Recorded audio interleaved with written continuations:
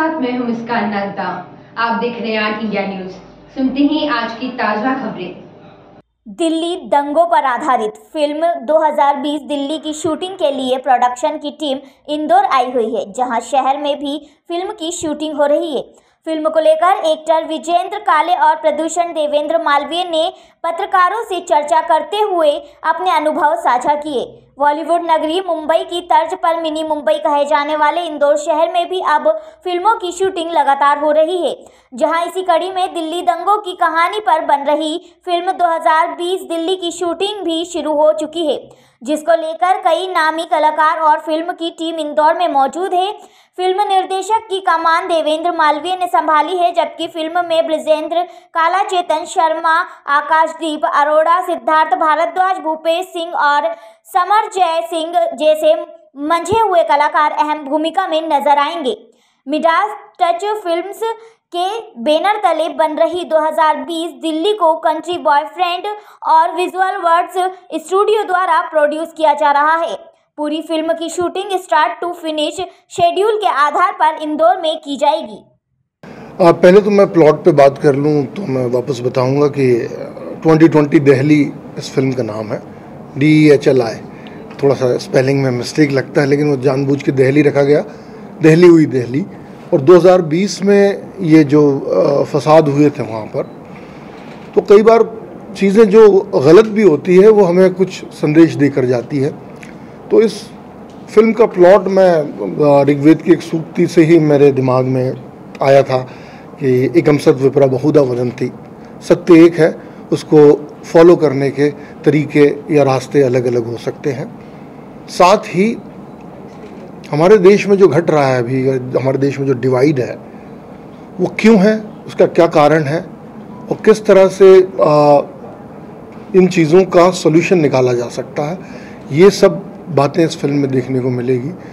और मैं जैसे कि बता चुका हूँ कि ये फ़िल्म की कहानी जो सुबह नौ बजे से रात के आठ बजे के बीच की कहानी है 24 फरवरी को, जब अहमदाबाद में नमस्ते ट्रंप प्रोग्राम हो रहा था, उसके बाद वो आगरा गए और आगरा के बाद जब दिल्ली आ रहे होते हैं, इसी दौरान उस दिन दिल्ली में दंगे भड़के थे और हमारी कल्पना के हिसाब से जो सत्य घटनाएँ घट रही है जो ट्रू इवेंट्स हो रहे हैं, उसके इर्द गिर्द ये कहानी जो है हमारी चल रही है।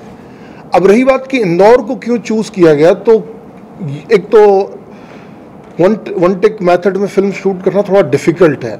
बहुत ही इसमें टाइम टेकिंग प्रोसेस है। आर्टिस्ट को बहुत ज़्यादा रिहर्सल करने में तीन गुना ज़्यादा टाइम देना होता है as compare to shoot time के। एक वो चीज़ है। दूसरा कि हमें वो सारी गलियाँ, चाहे हम अगर बात करें दोनों कम्युनिटीज़ में देखते थे जो वहाँ पर जो दिक्कत हुई थी, दोनों कम्युनिटीज़ का जो एरिया कैसा हो सकता है तो चूँकि मेरा होम टाउन है इंदौर और इंदौर के लोग बड़े ही मिलनसार, बड़े ही सपोर्टिव हैं। यहाँ का माहौल अच्छा है और शूट करना यहाँ पर बहुत ही कह सकते हैं कि सहज होगा। मतलब चटपटा तो नहीं मिलेगा, जैसे कि मैं करता आया हूँ। ये थोड़ा सा डिफरेंट एक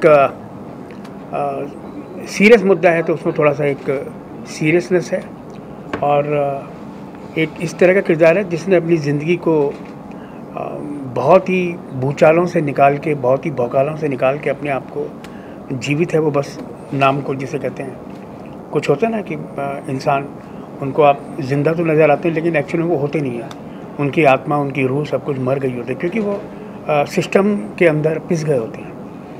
तो इस तरह का एक किरदार है जो कि मेरे को देवन जी ने जब पहली बार सुनाया तो मुझे बड़ा इंटरेस्टिंग लगा अच्छा लगा, थोड़ा सा अलग करने को मिला। और एक कलाकार को क्या चाहिए होता है कि थोड़ा सा अलग तरह से मिले तो मज़ा आता करने में सर चर्चित विषय है तो कुछ उसके लिए तैयारियाँ भी की आपने चुनौतीपूर्ण मानते हैं कि इस तरह के? तैयारियाँ हाँ बहुत तैयारियाँ चल रही हैं। मैं आया ही दो दिन पहले इसलिए कुछ कुछ तैयारियाँ कर सकूँ। तो वो तैयारी हम कल से कर रहे हैं और कोशिश कर रहे हैं कि मतलब इसको बिल्कुल जीवन तरीके से आ, किया जाए। और सबसे बड़ा जो एक्सपेरिमेंट है वो यही है कि वन शॉट के स्टाइल में इसको शूट कर रहे हैं। तो उसके लिए हमको पूरी तैयारी भी वैसी करनी है और साथ के साथ जब हम उसको शूट करें तो परफेक्शन के साथ चीज़ लगे।